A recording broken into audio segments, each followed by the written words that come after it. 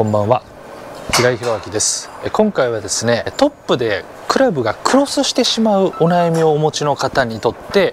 練習方法解決方法になればなと思って撮っていきたいと思います。平井弘明のワンダップゴルフ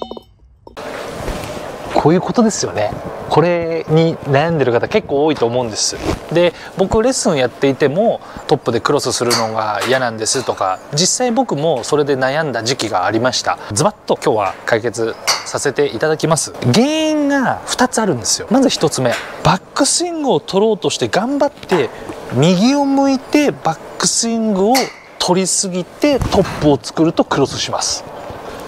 正面をほぼ向いたままトップ作ろうとするとクロスってあんまりしないんですけどもバックスイングは体を回さなきゃいけないって言って右を向きながらバックスイングっていうか腕でクラブをトップの位置に持っていこうとするとクロスします。の時に右を向いてもいいんですけども腕でクラブをトップの位置に持ってくタイミングが遅すぎるんですね早い段階で持ってけて回す分にはそんなにクロスしないんですけども体回すことを優先させてまだまだクラブがトップの位置まで行ってないのに体が回りきっちゃってこっち向いてる時にバックスイングを取るのと同じニュアンスなんですね。なので体先行ではなくてクラブ先行でトップを作ってあげるような意識をしてあげるとクロスしづらくなるんですね。これがポイント1つ目。2つ目はクラブヘッドよりもグリップが先行してこうやってトップ作る人。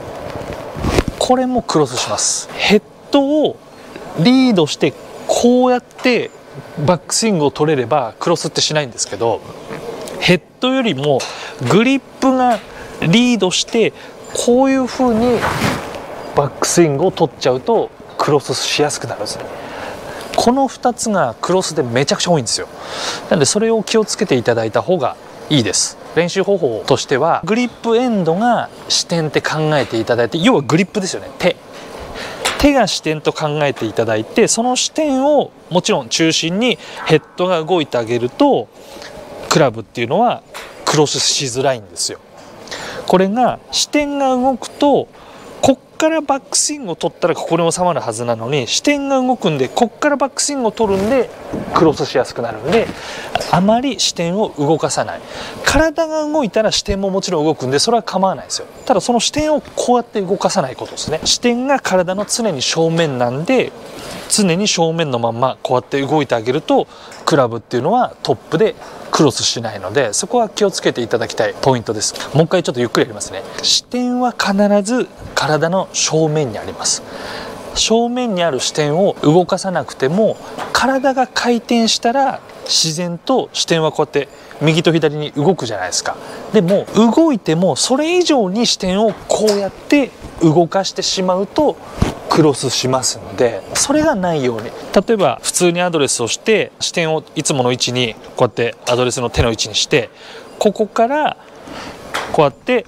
体の回転に沿って視点が正面のままずれる分にはクロスはしないんです。